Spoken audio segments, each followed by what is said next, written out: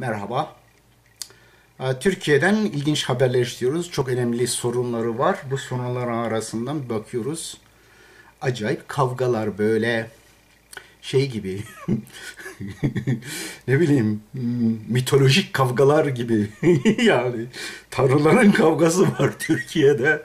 Layık tanrı bir de diğer e, dinci mezhepçi tanrılar.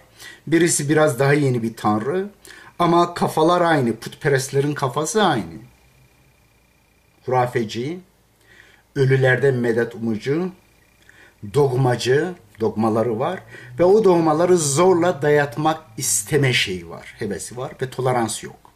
Hangisi iktidara gelse kendi putunu dayatıyor. Ve alabildiğine despotlar. Böyle bilim derler, film derler, ilim derler, alakası yok dogmatik, düşünemeyen ve kendi putuyla karşıdakini korkutuyor. Birisi Peygamber sallallahu aleyhi ve sellem peygambere hakaret edersen seni cezalandırırım hapishane. Öbürü Atatürk'ü koruma kanunu. Putların kavgası var. Milli ve dini putlar. Ama bu arada acayip şeyler, kimyasal olaylar gelişiyor.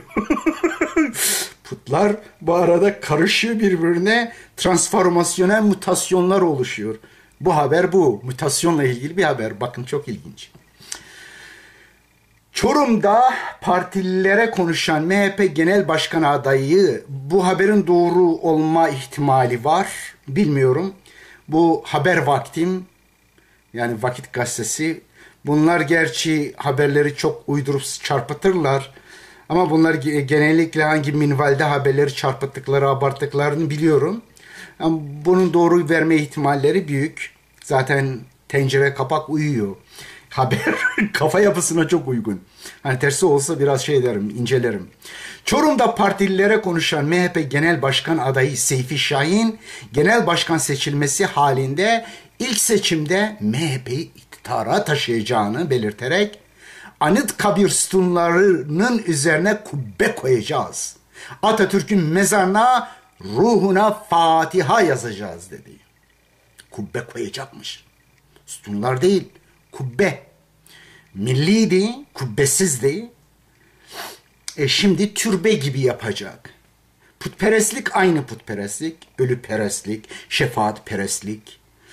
Um, gerçi yani Atatürkçüler put konusunda daha az putlar var. Bir Atatürk putu bir de yarım İsmet İnönü putu. O pek o put pek tutmadı. E tabi şimdi Atatürkçe bana kızıyor.